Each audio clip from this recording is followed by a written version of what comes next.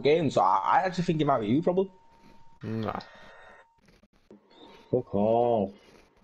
Oh, I got a bone stuck down my throat. I swear to God. Oh, what's it bro? I'm getting proper pain in my